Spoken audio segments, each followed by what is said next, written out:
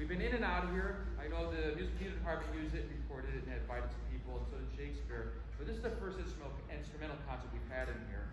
I'll explain more about that later, but uh, we're going to start with the first piece called uh, soundtrack to the movie The